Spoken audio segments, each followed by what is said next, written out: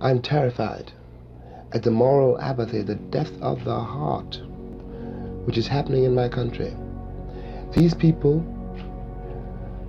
have deluded themselves for so long that they really don't think I'm human.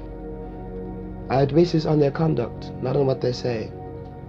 And this means that they have become, in themselves, moral monsters.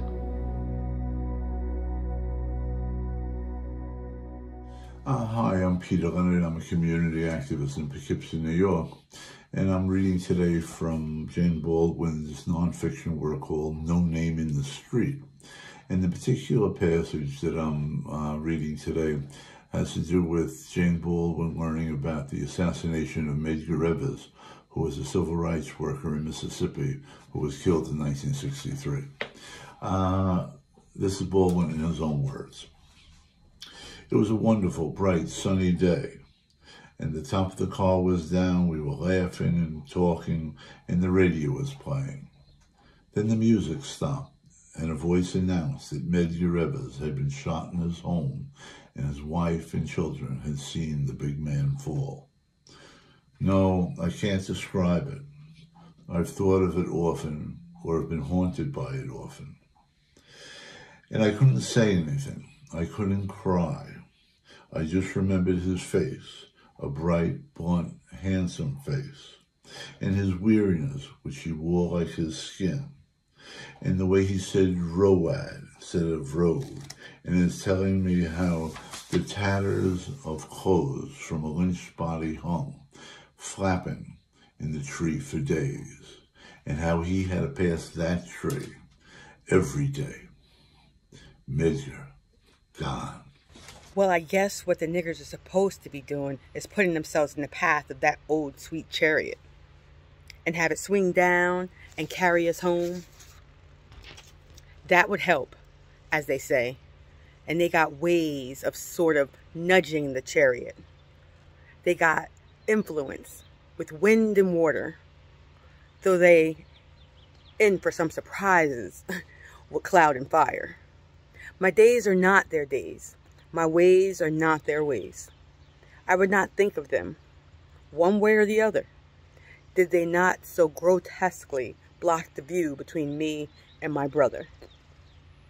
And so I also wonder, can blindness be desired? Then what must the blinded eyes have seen to wish to see no more?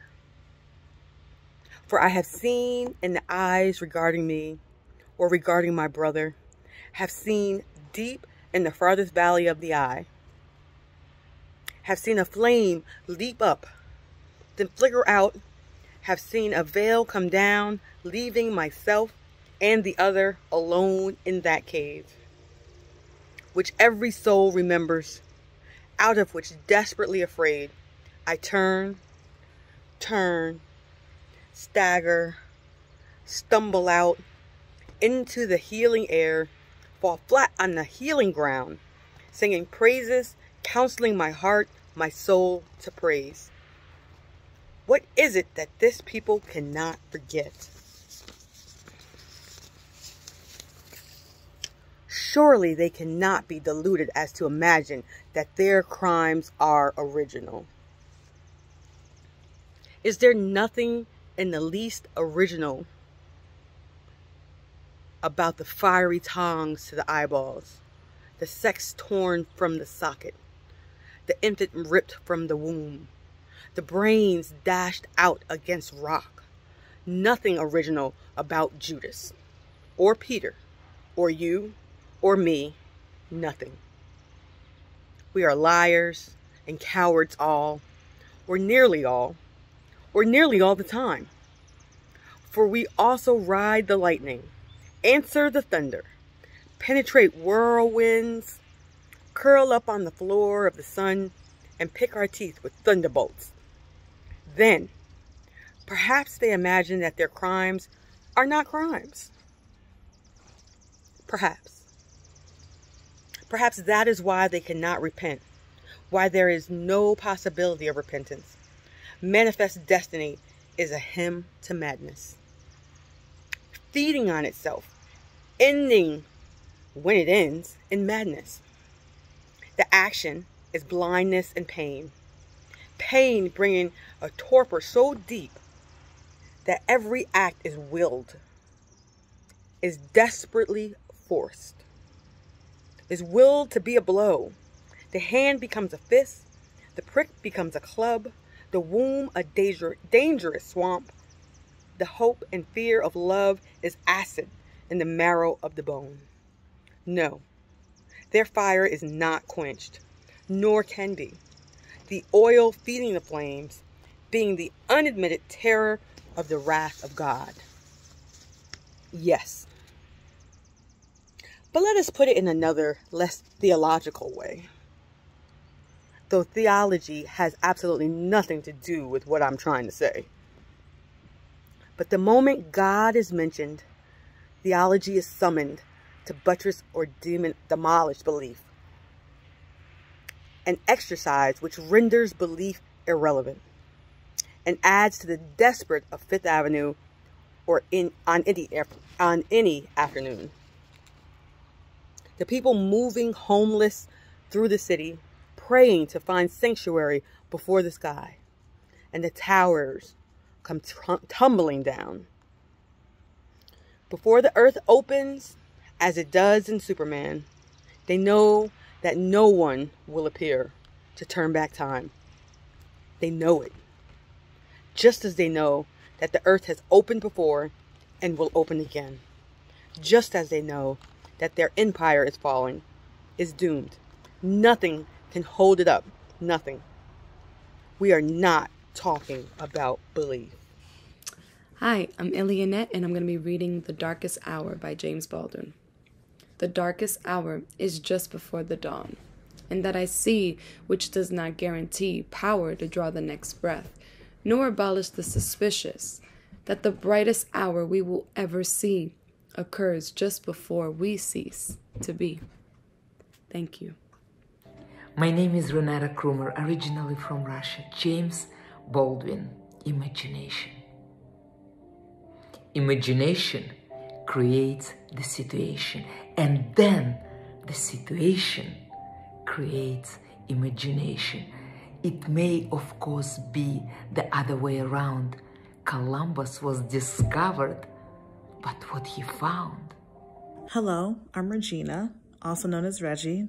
I'm a poet and youth worker in the city of Poughkeepsie, and this is the James Baldwin quote that I picked out. Children have never been good at listening to their elders, but they have never failed to imitate them.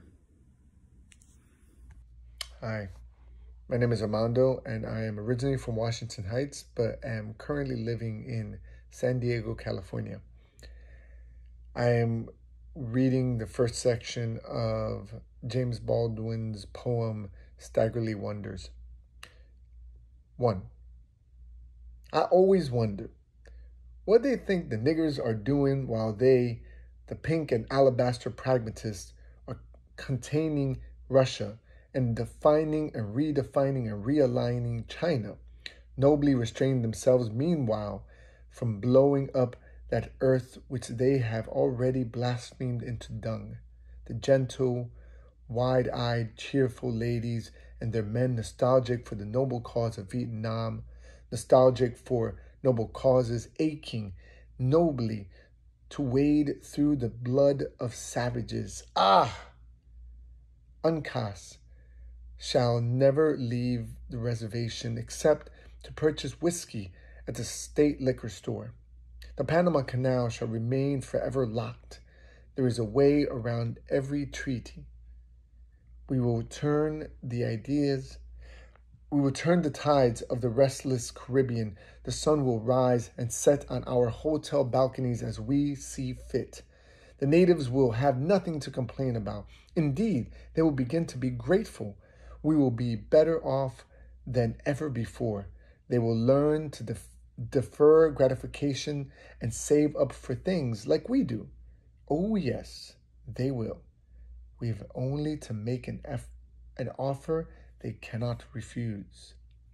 This flag that has been planted on the moon, it will be interesting to see what steps the moon will take to be revenged for this quite breathtaking presumption.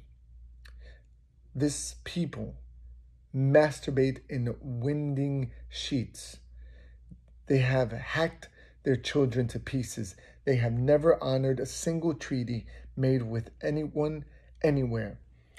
The walls of their cities are as foul as their children. No wonder their children come at them with knives. Mad Charlie's Manson was one of their children, and he got his shit together. By the time he left kindergarten, and for and as for Patty, heiress of all the ages, she had the greatest vacation of an any heiress where anywhere. Golly, Willikers, mom, real guns, and they come with a real big black funky stud too. Oh, ma, he's making an eye at me. Oh, noble Duke Wayne, be careful in them happy hunting grounds. They say the only good Indian is a dead Indian. But what I say is, you can't be too careful, you hear? Oh, towering Ronnie Reagan, wise and resigned lover of redwoods, deeply beloved, winning man child of the yearning republic from diaper to football field to Warner Brothers sound stages, be thou our grinning, gentle, phallic, big boy of all the ages. Salt peanuts, salt peanuts, for dear hearts and gentle people, and cheerful, shining, simple Uncle Sam. Nigger, read this and run. Now, if you can't read, run anyhow. From Manifest Destiny, Cortez and all his men silent upon a peak in Darien, to a decent interval, and the chopper rises above Saigon abandoning noble cause and the people we have made ignoble and whom leave live leave there now to die. One moves with all deliberate speed to the south china sea and beyond where millions of new niggers await glad tidings. No said the great man's lady i'm against abortion. I always feel that killing somebody well that what about capital punishment? I think the death penalty helps. That's right. Up to our ass and niggers on death row. Oh, Susanna, don't you cry for me. I imagine that one of the reasons people cling to their hates so stubbornly is because they sense once hate is gone, they will be forced to deal with pain. Quote by James Baldwin. My name is Liv. Um, I'm from Poughkeepsie, New York, and this is The Darkest Hour by James Baldwin. The darkest hour is just before the dawn, and that I see, which does not guarantee power to draw the next breath, nor abolish the suspicion that the brightest hour we will ever see occurs just before we cease to be.